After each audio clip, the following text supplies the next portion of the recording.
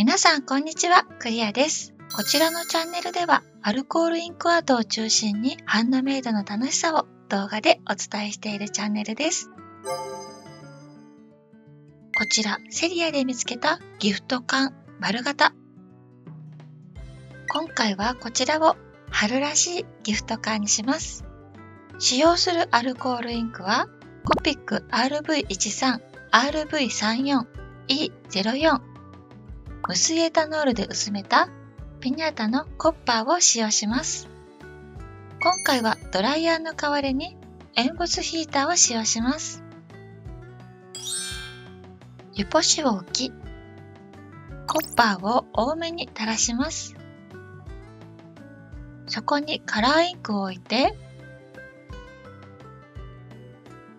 湯ポシを持って混ぜるようにゆっくり動かしていきます。コッパーを追加してゆっくり動かします。エンボスヒーターを使って端の方からゆっくり風を当てていきます。左から右に流れるように当てます。同じ場所に長時間当てすぎると湯干しが変形するので気をつけてください。風の当てる位置を変えながら少しずつ進めていきます。コッパーを追加して乾かします。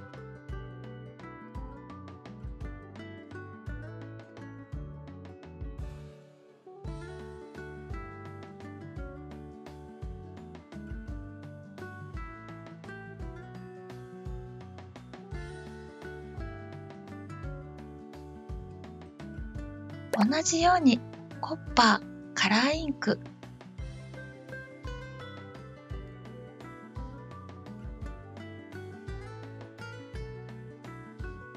追加でコッパーを入れて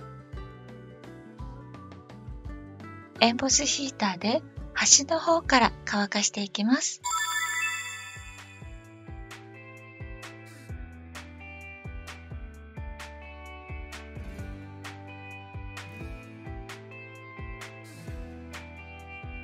今回のイメージは桜。桜の花びらみたいな淡い色合いを表現したいので、グラデーションをきれいに出せるようにアートしていきます。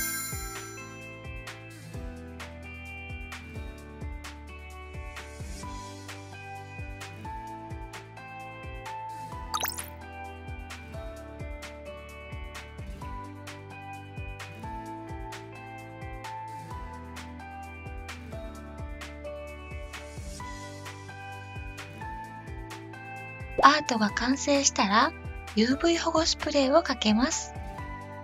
屋外に出てスプレーして乾かすを3回ほど行います。普通用紙の紙を準備し、型紙を作ります。蓋の部分を置き、ペンで印をつけます。真ん中部分をハサミでくり抜いてカットします。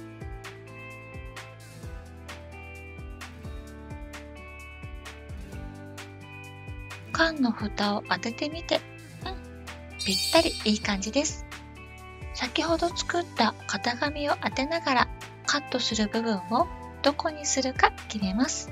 場所や柄の位置によって印象が変わってくるので慎重に。アート中も楽しいですが、どの柄にするか悩んでいる時間も楽しいです。湯ポシが大きいので、蓋の部分と缶の底の部分の2つ型を取ろうと思います。ここと場所を決めたら、蓋を当てて、ペンで線を書き、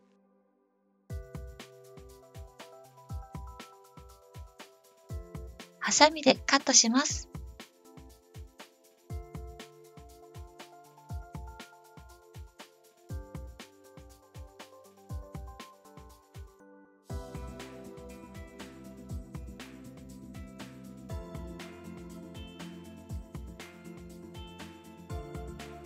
蓋や底に当ててみて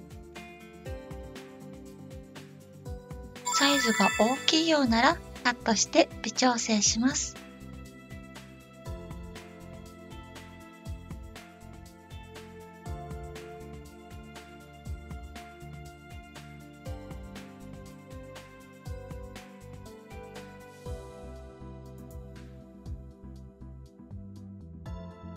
次に両面テープを貼っていきます。最初はどのように貼れば綺麗に曲線に沿って貼れるか悩みながら少しずつ貼っていました。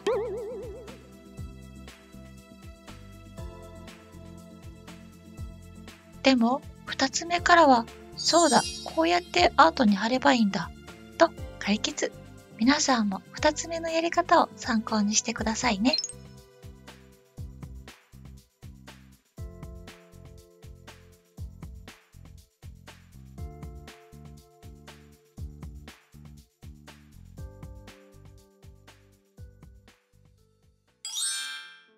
次はレジンコーティングを行います。コーティング面が広いので、エポキシレジンを使用します。エポキシレジンは、ツヤというレジン液を使います。はかりは小数点第1位まで測れるはかりを使用します。こちらのレジン液は本剤と硬化剤を2対1の割合で測ります。測れたら割り箸で混ぜていきます。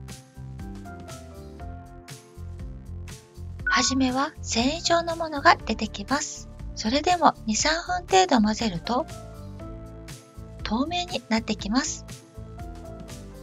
気泡を抜けるため10分程度ホコリが入らないように蓋をして待ちます。気泡がきれいに抜けました。水平を確かめてレジンコーティングします。中心にレジン液を少量流し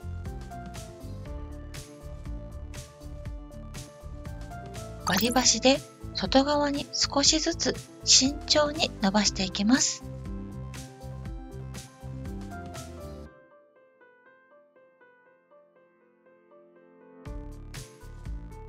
底の部分はレジン液が垂れる心配がないので中心にレジン液を少量流した後手で持って傾けながら全体にレジンを伸ばしていきます。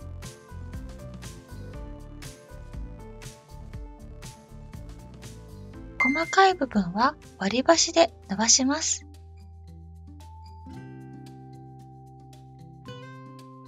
蓋の部分の気泡はチャッカマンで取り除きます。あまり長時間同じ場所に当てすぎるとレジン液が黒くなってしまうので気をつけてください。底の部分はチャッカマンを当てにくいのでエンボスヒーターで気泡を取り除きます。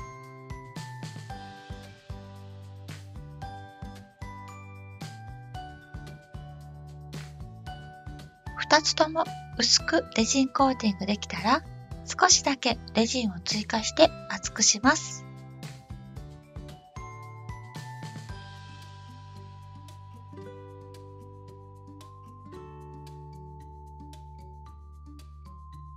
気泡がある場合は取り除きます。できたら、ホコリが入らないように蓋をして、2、3日硬化できるまで待ちます。2日経過しました。蓋を取って見てみます。綺麗にツヤツヤに出来上がりました。春らしい桜カラーのギフト缶の完成です。100均のギフト缶で春らしい小物入れができました。アクセサリー入れにしたり、ちょっとしたお菓子を入れてみたり、好きなものを入れてくださいね。最後までご視聴いただきまして誠にありがとうございます。グッドボタン、チャンネル登録していただくと更新の励みになります。次の動画もお楽しみに。バイバーイ